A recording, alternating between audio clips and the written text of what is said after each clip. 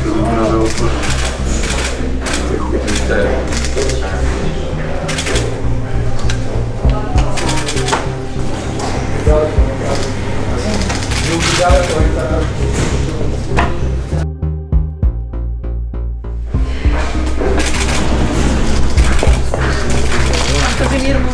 Dobrý deň vám všetkým. Dobrý deň. Vyjadrime sa až po povedávacom dni. Dobrý deň. Budete to vypovedať? Guvernéra Národnej banky Petra Kažimíra súdia pre podozrenie, že dal úplatok 48 tisíc eur niekdajšiemu šéfovi daniarov Františkovi Imrecemu.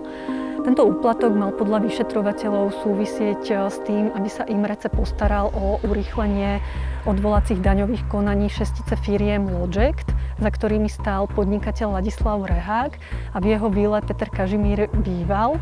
Motiváciou Petra Kažimíra dať úplatok podľa vyšetrovateľov bolo, aby pomohol podnikateľovi Rehákovi a zabezpečil si výhodné odkúpenie víly, čo sa aj stalo. Nenájdete na zemi človeka, ktorý by mohol povedať, že som mu niekedy vybavil nejakú úľavu na daní alebo, alebo nejakú vrátku DPH.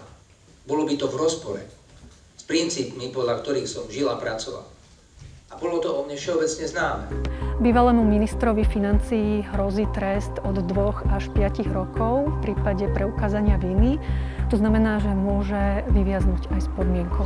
V prípade, že budete nepravoplatne odsúdení, budete zvažovať odstúpenie z funkcie? Nikdy neodstúpim na základe nezákonnej obžaloby.